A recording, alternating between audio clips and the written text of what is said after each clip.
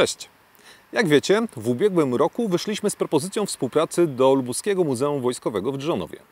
Jego załoga z Pawłem Pochockim na czele do tej współpracy przychyliła się bardzo pozytywnie. Jej efektem było powstanie kolejno materiałów o pionie, ZSU 57-2 oraz Krugu. My wierzymy, że dobro zawsze wraca, dlatego gdy Paweł zwrócił się o pomoc do nas, nie wahaliśmy się ani chwili. W czym rzecz, moi drodzy?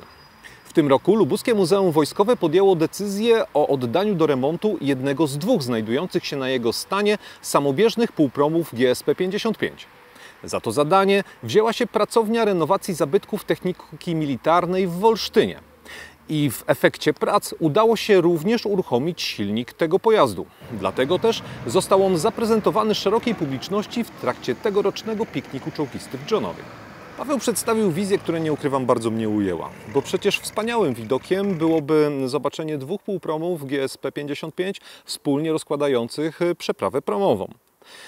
Czego brakuje nam do urzeczywistnienia tej wizji? Ano, moi drodzy, w drugim półpromie jest zatarty silnik, a jego koszt to 12 tysięcy złotych. Takiego wydatku nie jest w stanie ponieść ani muzeum, ani tym bardziej wolontariusze pracujący przy remoncie pojazdu. Dlatego w imieniu własnym oraz Lubuskiego Muzeum Wojskowego chcielibyśmy Was prosić o wsparcie zrzutki, która ma dać nowe życie tym dwóm wspaniałym bliźniakom. Każda suma się liczy. Link do zrzutki znajdziecie oczywiście w opisie filmu. I pamiętajcie, może to właśnie dzięki nam te dwa pojazdy znowu będziemy mieli okazję zobaczyć na poligonie.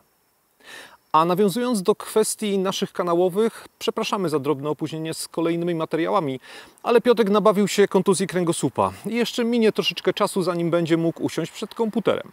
Ale obiecujemy Wam, że w lipcu na pewno coś dla Was przygotujemy. A więc do zobaczenia!